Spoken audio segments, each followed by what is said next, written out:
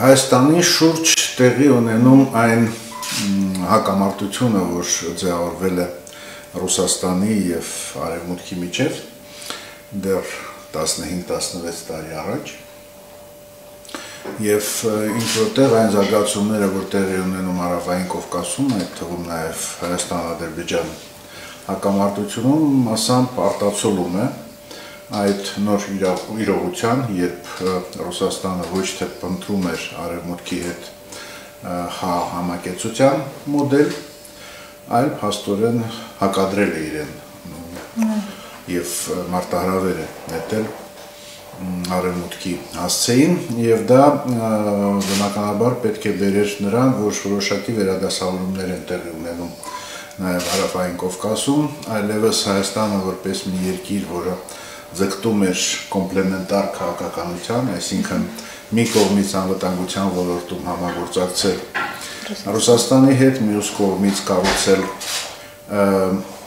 քիչ թե շատ եվրոպական մոդելի նման մի պետություն,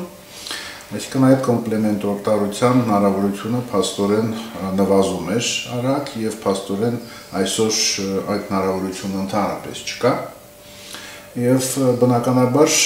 որպես Ռուսաստանի գործընկեր Հայաստանը կորցնում էր հետաքրությունը Ռուսաստանին ավելի շատ ձեռնտուին այնպիսի գործընկերներ, որոնք իր հետ միասին պատրաստ են քանդել այն համակարգը գլոբալ, որը ձևավորվել էր երկրորդ համաշխարհային պատերազմից հետո եւ վերջնական տեսք էր ստացել ԽՍՀՄ փլուզումից հետո։ mm -hmm եւ փաստորեն միաբևեր աշխարհի մասին է խոսքը, հա? Ձեր քանդել միաբևեր աշխարհի համակարգը, հա? Այո, նո, այդպես է կարելի ասել։ Եվ որպես այդպիսի գործընկերներ շատ ավելի հետարքիր էին դառնում Ռուսաստանի համար Ադրբեջանը եւ Թուրքիան, մասամբ նաեւ Իրանը։ Եվ բնականաբար հետաքրությունը Հայաստանի նկատմամբ նվազում էր եւ պատրաստակամությունը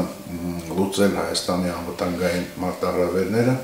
նույնպես կամած կամած զրոյանում էր, դա չի նշանակում, որ իհարկե Ռուսաստանը չի ցանկանում, որպիսի Հայաստանը տարածաշրջանային քարտեզից անհետանա, բայց որ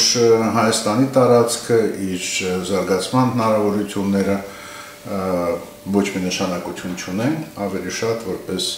պես Ռուսաստանին կցված